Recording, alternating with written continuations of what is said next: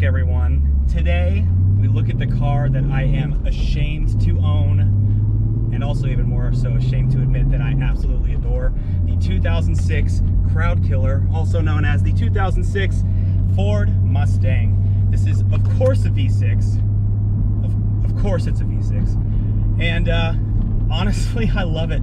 I have a few little upgrades on it. I have a cold air intake. It's got a header system on it, straight back to a MagnaFlow, MagnaFlow 3. And uh, man, this car is just so fun to, to so fun to drive. So today we're gonna be doing some mountain cruising. Hope you guys enjoy.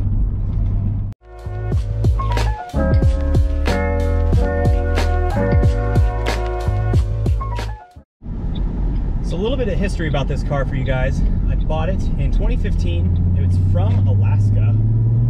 Uh, so a family in Arizona had it, had 15,000 miles on it when I bought it in 2015 in 2006. So nine-year-old car. Now it's only sitting at 50,000 miles, and uh, just an amazing, fun car to drive. As much as I hate to say it,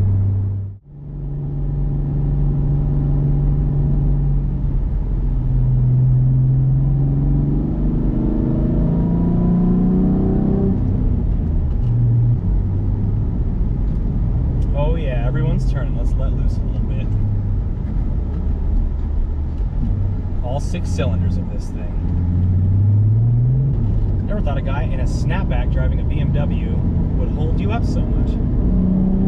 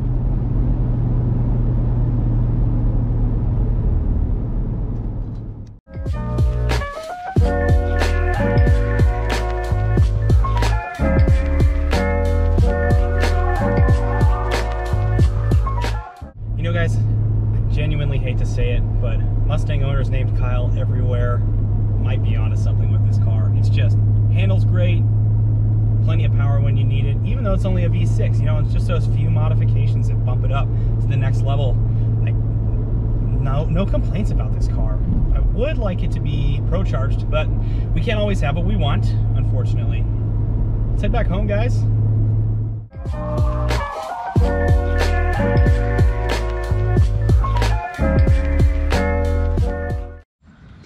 Guys, that concludes the Mustang video. Give subscribe if you like this content. We got a lot more cars coming. They're pretty much never ending, so we'll see you next time back here at the garage.